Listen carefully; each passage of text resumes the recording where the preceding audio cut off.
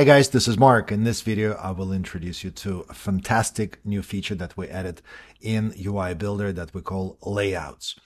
Uh, it is very easy to understand what layouts do, and it is just as easy to work with them. But let me describe the actual problem first. So if you picture any kind of web application or a mobile application, pretty much all of them will have some kind of fixed structure in the way the information is presented to you. Specifically, in web apps, you would expect to find a header in the app, a footer, uh, a standard place for the menu.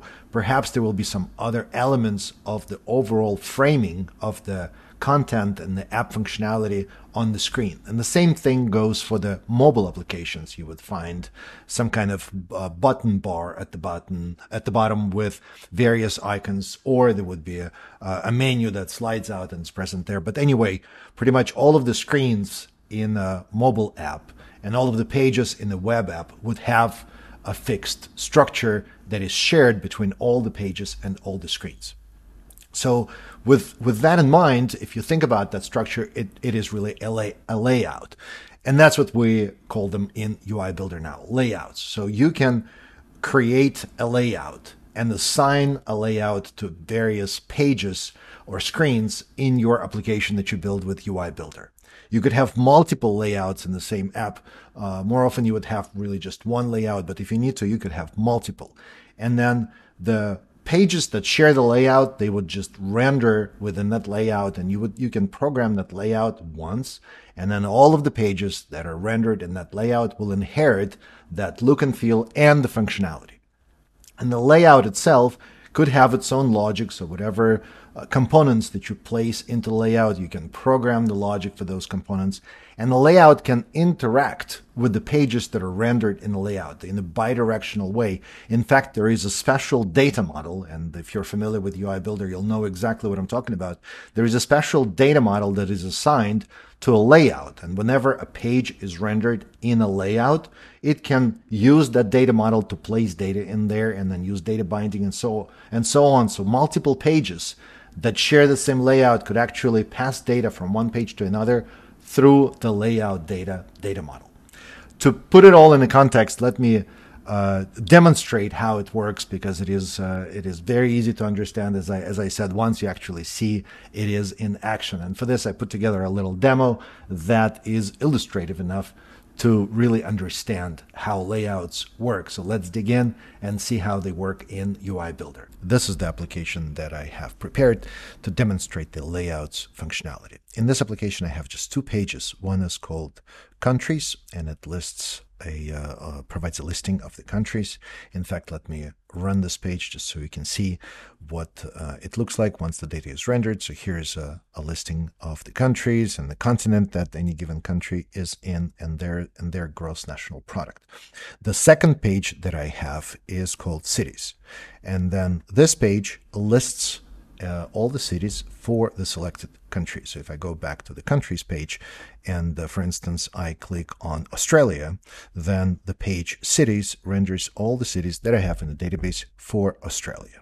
So this is uh, this is what I have, and then as you can see, the, right now it's a very basic setup where literally just one data grid component in a page. And uh, in an application, as you imagine, there would be some additional structure to an application. As I mentioned earlier, there may be footer, uh, header, menu, and so on. So that's where layouts come in. And then as far as layouts, uh, there is a new tab called layouts. And when you go here, you can create a new layout. So when you click new layout, uh, these are the built-in layouts that we have prepared. However, uh, if these do not work for you, you can customize any of these or create your own 100% uh, custom layout with whatever logic and functionality you want to have. So for, for this demo, let's uh, pick this sticky header plus footer layout. So I'm going to select this guy and uh, give it a name and call it my layout. Uh, when you create a layout, it's going to be a, a, a, row in this table here. You can uh, clone this layout, you can delete, or you can edit this layout's UI and logic. So when you click on this, uh, this opens up and this and it works exactly as a page in UI Builder. So here you have the components, you can move them around, you can uh, program logic, you can do everything that you already know. But keep in mind that this is the what you're editing is the layout, and it will be shared between multiple pages. And I will demonstrate how to well, if let me demonstrate right now. So we select this block and let's change its color to something else, just like this. This is kind of nasty. Let's make it a little bit better. I don't know. Here it is. Uh, also, let's select the header. And uh, for the header, we will also change the color to, uh, to whatever, right? So now we have customized uh, this layout. Now, if I want my countries and cities to be rendered in here, I can associate my countries and cities pages with this layout. And as you can see in the lay layout itself, and here it says editing layout, in the layout itself, there's this special area called page render area. And you can customize this page render area to be located anywhere within the layout. And I will show you how uh, the customizations work as well. So this is where the content of my pages will show up for any page that uses this layout. So let's just let me demonstrate how that linkage between the pages and the layout work. And for this, I'm going to go to the countries page. And on the page itself, if I select the actual page, which is the top level component in this hierarchy, right? So page itself, uh, you will see that there is this layout property. And in the layout property, I can select a layout that I already have installed. And you could have multiple layouts. All of them will show up in this list. But in this case, I have just one layout and that layout is used on the page. When I select the layout, the page here doesn't change because here we want uh, you to focus and see the actual content of the page. The layouts are managed separately and you can program their logic and look and feel separately. But now, since this page is associated with this layout, if I run this page in the preview, you will see that the page is now rendered inside of this layout and any logic that is associated with the actual layout is automatically inherited. Okay, but since I did the linkage between the page and the layout only for countries, if I select a country in here, for instance, Spain, okay, the other page is rendered outside of the layout. So let's fix that. I'm going to close the preview and then go to the cities page and then link my cities page to the same layout. Okay, so now if I were to rerun countries, and then from the countries, I'm going to select a country. Now notice that the cities is being re-rendered. What's interesting about this is whenever I navigate from one page to another, only this section is being updated. The rest of the layout is never refreshed, is never reloaded. It just sits in the browser. So this really functions as a single page application because all those pages, they really become this one part of this dynamic content that is managed by UI Builder.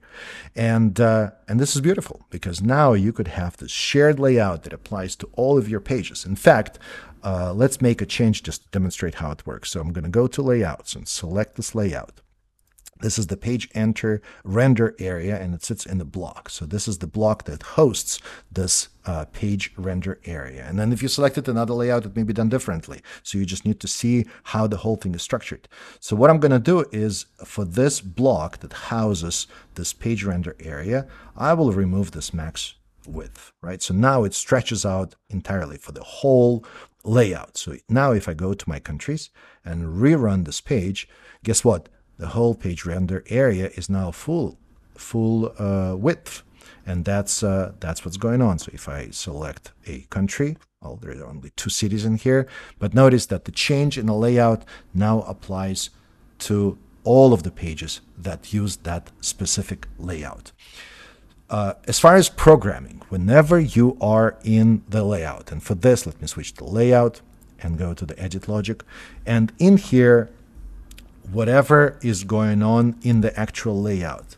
Uh, as far as visibility or showing it only when uh, certain pages are there or uh, creating dynamic content in your uh, header or footer or anywhere else, you can definitely do that because whenever you go into the actual logic for anything in the layout or the pages that use the layout, in here for any of the events, you will see this layout data block. Okay, and this layout data block is a special data model, very similar to app data and page data. In other words, it will accept keys and value properties. However, what's different about the layout data, it, it is uh, the, the life cycle of that data model. So page data lives on as long as the page is active.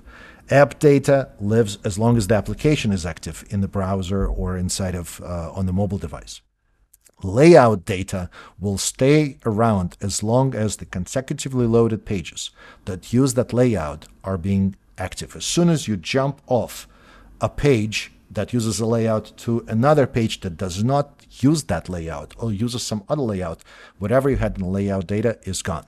And you can read about it in the documentation. So the docs describe layout data uh, with the programming model and how to use the layout data and how to create layouts. So all of it is there. Now, another thing that I wanted to demonstrate is if you take a new page, and let me just create a new page, and let's say it's going to be a login page, right? So I'm going to call it my login, for instance. And I don't know why I picked login, but let's just stick with it. So let's say you just created a page that has some kind of layout. You can actually take this page and make it a layout by clicking this button. Okay, so what's going to happen next? Let, us just demonstrate this and you will see how it works. It's going to assign this uh, default name, which is fine with me. So now I'm editing the layout. Notice that it created this page render area for you and you can move it uh, anywhere else, right? So this page render area uh, can be moved it doesn't make sense here, but still, the concept is that now this is a layout, and whatever page that you link with this layout, this is where it's going to be rendered. It doesn't make sense here because this is just a login, but it demonstrates the concept.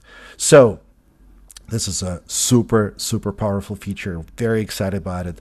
It really simplifies the process of creating web and mobile applications with UI Builder. Uh, please give it a try and let us know what you think. Thank you for watching this video. And as always, happy coding or no coding with Backendless.